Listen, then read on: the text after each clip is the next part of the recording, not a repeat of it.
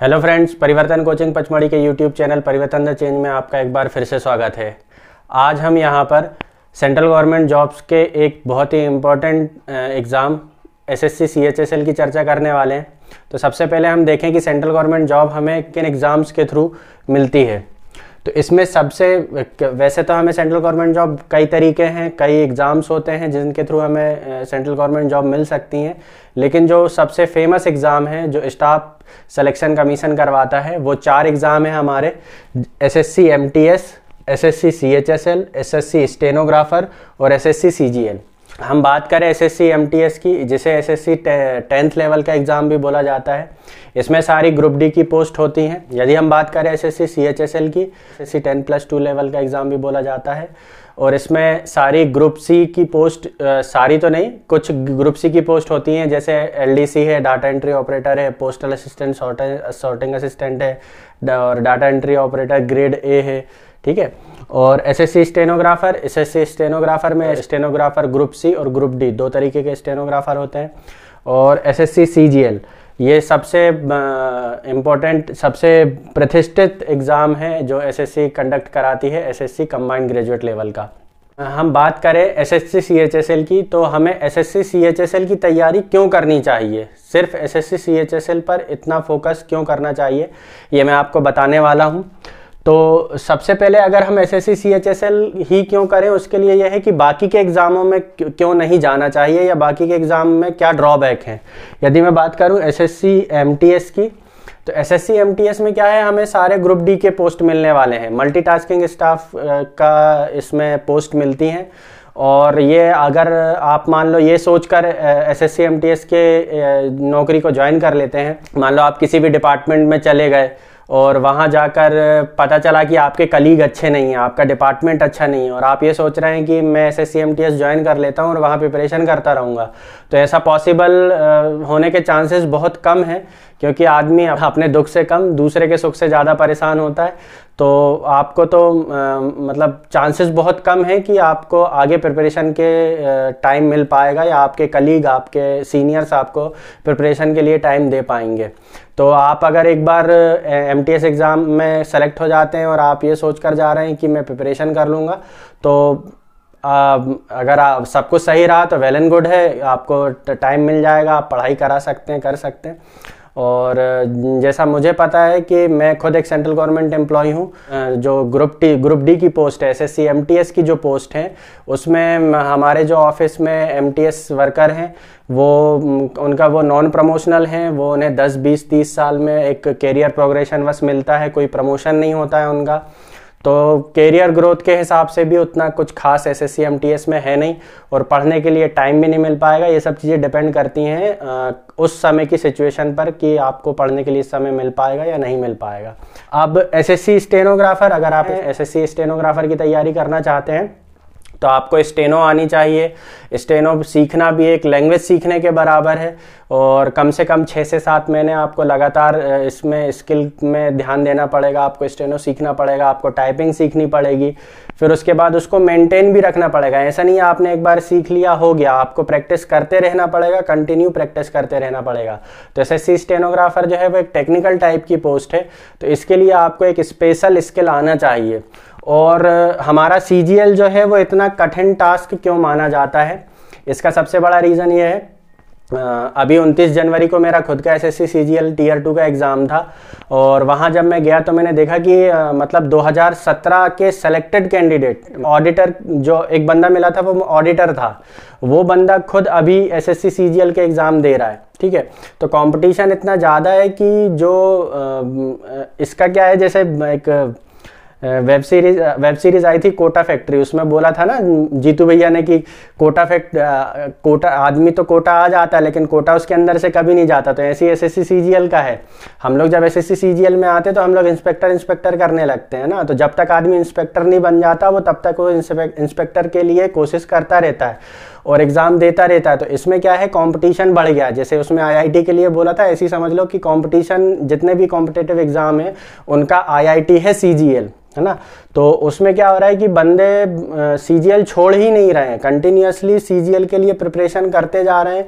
और 2017 का selected candidate सोचो ऑडिटर है अच्छी खासी नौकरी कर रहा है उसके बाद भी वो एग्ज़ाम दे रहा है है ना? तो ऐसे और भी बहुत से कैंडिडेट थे मुझे वहाँ। 2018 के सेलेक्टेड कैंडिडेट मिले।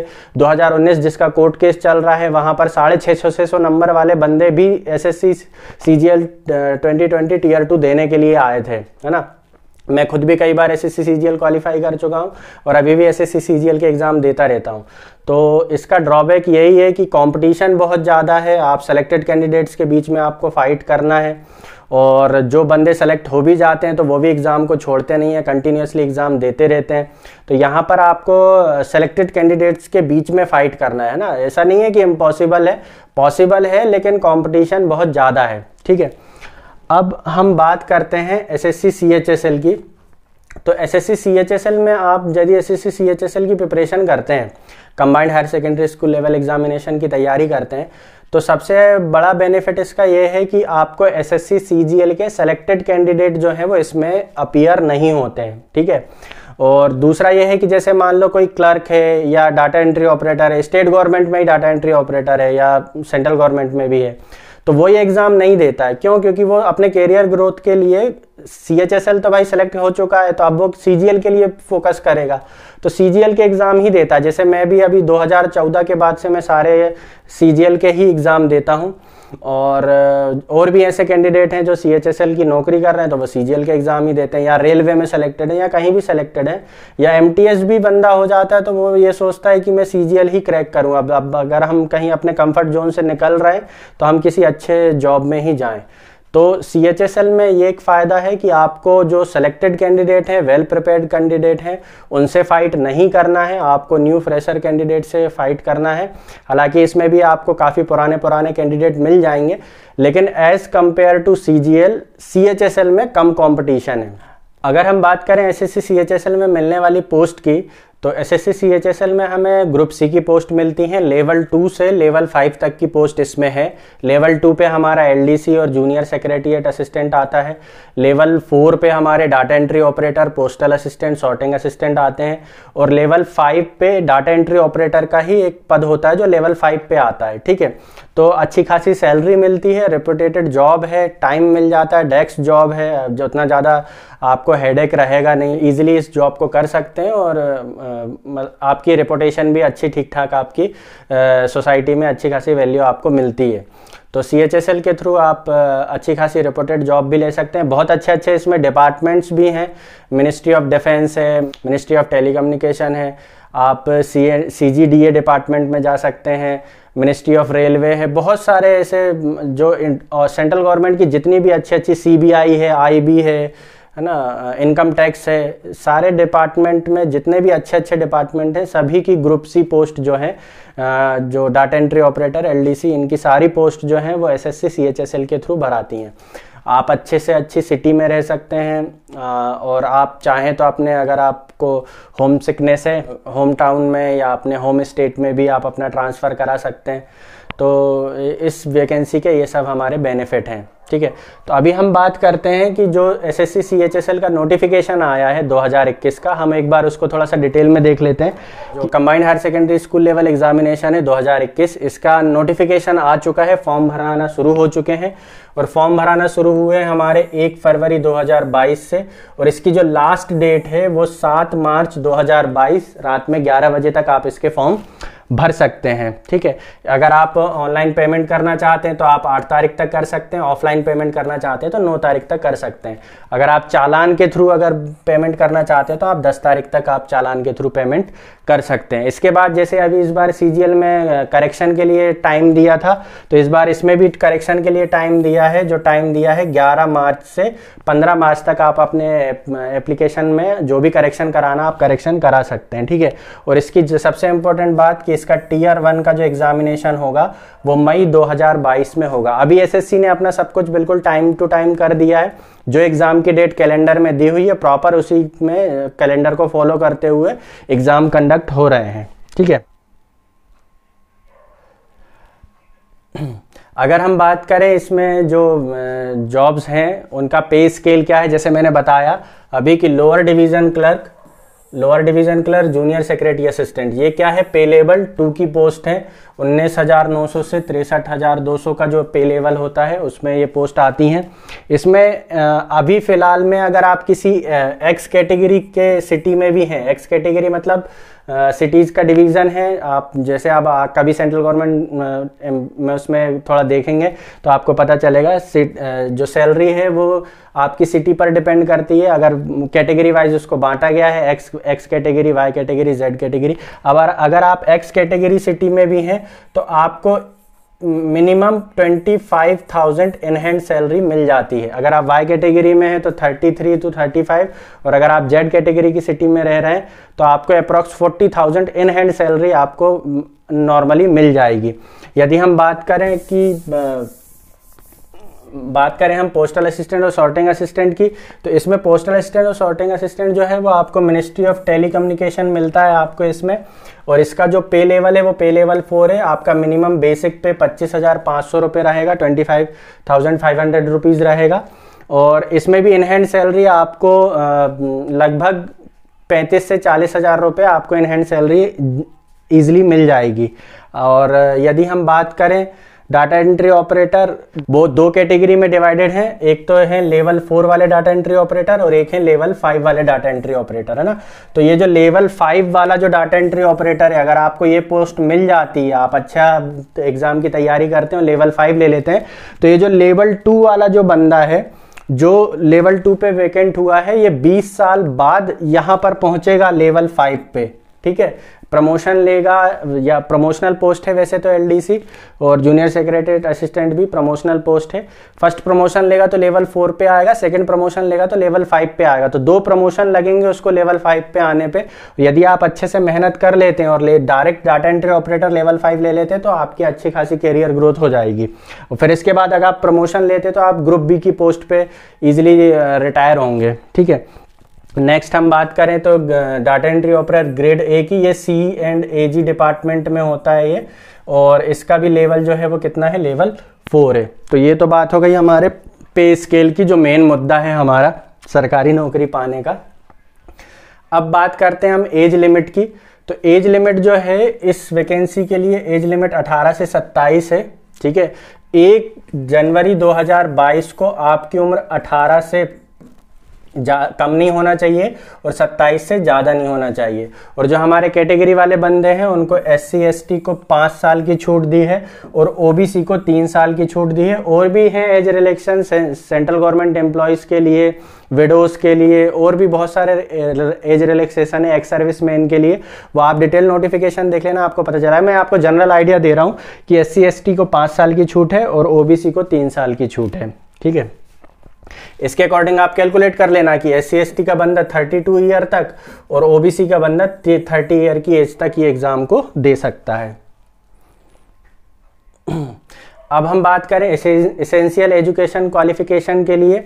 तो एजुकेशन क्वालिफिकेशन के आपको 7 मार्च 2022 तक आपको ट्वेल्थ पास होना चाहिए। ट्वेल्थ स्टैंडर्ड आपका पास होना चाहिए। और यदि हम data entry operator grade A की बात करें, जो सी एंड ए जी डिपार्टमेंट में मैंने बताया था, डाटा एंट्री ऑपरेटर, उसके लिए आपका ट्वेल्थ जो है वो साइंस स्ट्रीम से होना चाहिए और मैथमेटिक्स आपका एक कंपलसरी सब्जेक्ट होना चाहिए, है ना? जो मैथ साइंस वाले बंदे हैं जिनने ट्वेल्थ से मैथ साइंस किया है तो वो इस पोस्ट के लिए पोस्ट के लिए एलिजिबल होते हैं। तो इसका कट ऑफ़ अलग से निकलता है, वो हम आगे डिस्कस करेंगे, ठीक है? नेक्स्ट है टायर वन टायर वन का जो इसका एग्ज़ाम होता है, वो कैसा होता है हम देख लेते हैं। तो सबसे पहले इसमें चार सेक्शन होते हैं English general intelligence quantitative aptitude और जनरल अवेयरनेस चार सेक्शन होते हैं। चारों सेक्शन के 25 25 25 क्वेश्चन आते हैं और चारों सेक्शन में मार्क्स होते हैं 50 50 50 मतलब आपके 100 क्वेश्चन का 200 100 क्वेश्चन का 200 मार्क्स का पेपर होता है, जो आपको 60 मिनट में करना होता है। अगर आप प्रैक्टिस कर लें तो बहुत ईजिली हो जाता है, क्योंकि आपको इंग्लिश केवल पढ़ के सॉल्व करना है जनरल अवेयरनेस पढ़ के सॉल्व करना है। केवल सॉल्व करने के लिए आपके पास बचता है मैथ्स और रीजनिंग है ना? तो रीजनिंग भी इसकी बहुत ज़्यादा टफ नहीं होती है। एसएससी की आपको थोड़ी बहुत प्रैक्टिस कर लो आप तो इजीली बन जाती है। मेन मुद्दा केवल इसमें क्वांटिटिव एप्टीट्यूड का रहता है, जिसमें सी एच एस एल का अच्छा खासा लेवल रहता है, ठीक है? जो S S C C G L tier one tier two के लेवल को टच कर लेता है S S C C H S L का टीयर वन का एग्ज़ाम है ना? तो इसमें मैथमेटिक्स एक बहुत इंपॉर्टेंट रोल प्ले करता है, और जनरल इंटेलिजेंस अच्छा खासा रोल प्ले करता है। और जो अभी हम देख रहे हैं एसएससी में अभी टीयर टू में जो इंग्लिश का पेपर देकर आया हूँ, बहुत ज़्यादा टफ नहीं आता है। आपकी रीडिंग कॉम्प्रीहेंशन अच्छी होनी चाहिए। आपकी ग्रेस्पिंग पावर कैसी है, आप पढ़ के प्रॉपर पैसेज को समझ पा रहे हैं, नहीं समझ पा रहे हैं। अगर रीडिंग स्किल आपकी अच्छी है तो आप इंग्लिश को ईजिली कर सकते हैं, ठीक है? कोई बहुत ज़्यादा ग्रामेटिकल वो पुराने ग्राम ग्रामर के रूल हैं, उनको आप थोड़ा सा रिवाइज कर लें। और रीडिंग स्किल अगर आपकी अच्छी तो आप इंग्लिश में अच्छा ईजिली स्कोर कर सकते हैं। और रही बात जनरल अवेयरनेस की तो जनरल अवेयरनेस तो भाई किस्मत का खेल है। आप कितना भी पढ़ लें हो सकता है कि आपका पढ़ा हुआ ना आए लेकिन पता चला आपने कुछ थोड़ा बहुत ही पढ़ के गया उसी में आपका सल, आपके पढ़ा हुआ आ गया है। तो जनरल अवेयरनेस थोड़ा सा किस्मत का खेल है। चलिए। अगर हम बात करें टीयर वन, जो अभी हमने देखा सौ क्वेश्चन 200 मार्क्स के तो इसके अगर हम कट ऑफ़ की बात करें तो 2000 सी एच एस एल दो हज़ार अठारह सी एच एस एल दो हज़ार अठारह की बात करें तो जर्नल का कट ऑफ़ गया था 135.6 ओबीसी का कट ऑफ़ गया था 133.74 एससी का कट ऑफ़ गया था 110.09 एसटी का कट ऑफ़ गया था 99.09 तो ये हमारे चार कैटेगरी हैं मेन जिनका कट ऑफ़ यहाँ पर हमें ध्यान देना है। तो 2018 में ये आउट ऑफ़ 200 है। ये आउट ऑफ़ 200 है और ये नॉर्मलाइज्ड मार्क्स हैं। रॉ स्कोर नहीं है ये। नॉर्मलाइज्ड स्कोर का मतलब है कि अगर आपने यहाँ पे 125 126 स्कोर किया होगा तो ऑटोमेटिक आपका स्कोर नॉर्मलाइज होके इतना हो गया होगा। है ना? तो 125 126 130 स्कोर रॉ स्कोर करना कोई बहुत बड़ी बात नहीं है। आप इजिली कर सकते हैं। अगर आपका प्रिपरेशन अच्छा आपने डेडिकेशन से प्रिपरेशन की है तो। बाकी कैटेगरी में भी कट ऑफ़ कोई बहुत ज़्यादा खास है नहीं है। यही हमारा जनरल का कट ऑफ़ ही थोड़ा ठीक रहता है। अगर हम बात करें 2017 के कट ऑफ़ की तो 2017 में देखिए कट ऑफ़ कितना था? 143 जबकि 2018 में हमने कितना देखा? 135 है ना? तो कट ऑफ़ थोड़ा सा 2017 में ज़्यादा था। अब इसमें कट ऑफ़ डिपेंड करता है एक तो पेपर के लेवल पर। दूसरा ये इस पर भी डिपेंड करता है कि नंबर ऑफ़ वैकेंसीज कितनी है है ना? तो नंबर ऑफ़ वैकेंसीज हो सकता है 2017 में कम रही हो, इसलिए कट ऑफ़ थोड़ा सा बढ़ गया। तो चार से पाँच नंबर का फ़र्क पड़ता है बस। अब ये 143 भी है नॉर्मलाइज्ड स्कोर है। आपने यहाँ पे 135 अगर अपना रॉ स्कोर रहा होगा तो ये एग्ज़ाम आपका इजिली क्वालिफाई हो गया होगा। तो ऐसे बड़े बड़े हाई कट ऑफ़ देख के घबराने की ज़रूरत नहीं है। ये सारे नॉर्मलाइज्ड हैं। जब से ऑनलाइन एग्ज़ाम हुआ है, कई शिफ्ट में एग्ज़ाम होते हैं नॉर्मलाइज्ड स्कोर होते हैं और नॉर्मलाइजेशन के बाद नंबर जो है वो बढ़ जाते हैं, ठीक है? तो अगर हम ओबीसी की बात करें 2017 की तो 139 एससी की बात करें 122.5 एसटी की बात करें तो 112 ठीक है? चलिए।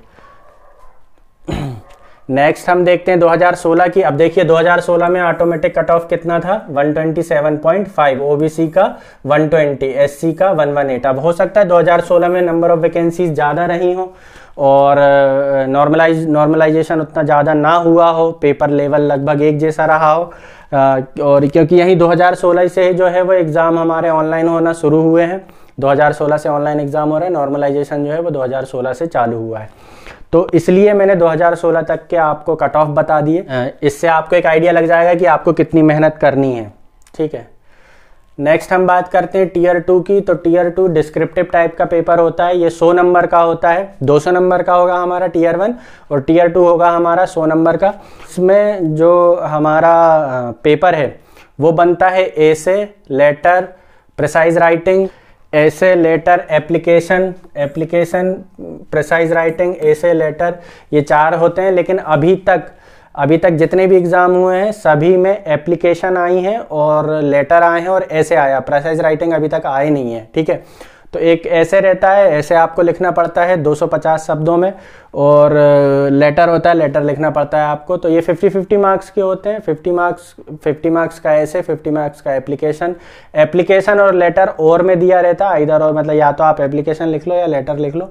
लेटर भी फॉर्मल इनफॉर्मल एप्लीकेशन भी फॉर्मल इनफॉर्मल दोनों तरीके की आती हैं, ठीक है? तो आप थोड़ा सा एक बार उसका स्ट्रक्चर देख लें ठीक ठाक आपको हिंदी, अंग्रेज़ी लिखना आता है तो आप इसमें ईजिली पचास से साठ नंबर स्कोर कर सकते हैं और आपकी राइटिंग स्किल अच्छी तो आप सेवेंटी प्लस भी स्कोर कर सकते हैं, ठीक है? नेक्स्ट हम बात करते हैं ये 2018 का 2018 का फाइनल कट ऑफ़ है कि फाइनल कट ऑफ़ जाता कितना? मतलब हमारा टीयर वन और टीयर टू मिलाकर फाइनल कट ऑफ़ जाता कितना? तो एलडीसी और एलडीसी जूनियर सेक्रेटरीट असिस्टेंट और पोस्टल असिस्टेंट की बात करें तो ये 190.33 है। इसमें हमारा कट ऑफ़ जो है वन, और अगर हम डाटा एंट्री ऑपरेटर की बात करें तो 223.60 है।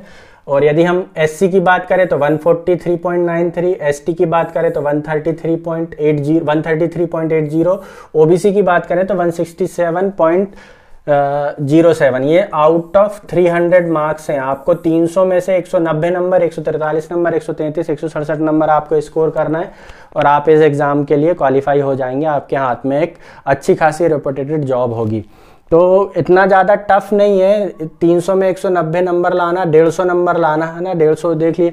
एससी कैटेगरी के बंदों को तो 143 नंबर लाना है। ओबीसी कैटेगरी के भी बंदों को 167 मतलब आपको 50 परसेंट स्कोर करना है। ओबीसी ओबीसी के है तो 53 है ना? यहाँ पे अगर आप देख लें तो कितना हो रहा है अठारह, लगभग 66 परसेंट अगर आप स्कोर कर लेते हैं तो आप इजिली एक गवर्नमेंट जॉब अच्छी खासी गवर्नमेंट जॉब आप यहाँ पर ले सकते हैं। तो ये था S S C C H S L का कंप्लीट डिटेल आई होप कि आप लोगों को पता चल गया होगा कि हमें इस एग्ज़ाम की तैयारी क्यों करनी चाहिए। और इस एग्ज़ाम में बाकी कम एग्ज़ाम्स के कंपैरिजन में क्या एडवांटेज हैं। आई होप कि आपको ये वीडियो सब अच्छा लगा होगा। Thank you